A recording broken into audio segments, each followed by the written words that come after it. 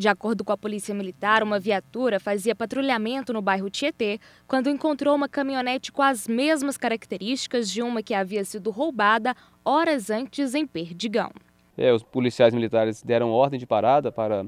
os ocupantes ou o ocupante desse veículo, porém, no momento ele desobedeceu e segundo os policiais militares que estavam nessa ocasião, é, tentando realizar essa abordagem, é, o, o, indivíduo ou os indivíduos que ocupavam esse veículo efetuaram disparos em direção aos policiais militares, motivo pelo qual, segundo o relato deles, houve a necessidade de efetuar disparos também contra o veículo. É, esse veículo evadiu dessa primeira tentativa de, de se abordar. Posteriormente, em um outro bairro, já no bairro, região do bairro São Roque, esse veículo foi abandonado, também segundo o relato dos militares, houve é, agressão é, é, mediante uso de arma de fogo por parte de pelo menos um dos integrantes desse, dos ocupantes desse veículo, ocasião também que os militares também tiveram que efetuar disparos de arma de fogo.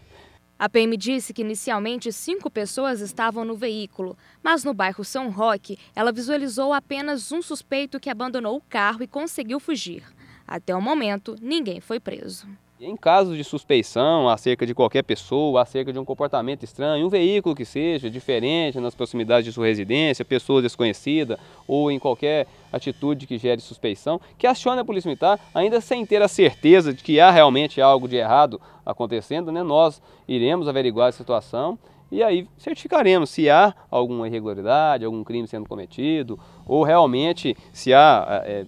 a, a essa, essa situação de suspeição vai ser confirmada né, com, algum, com algum ilícito a ser cometido por qualquer pessoa.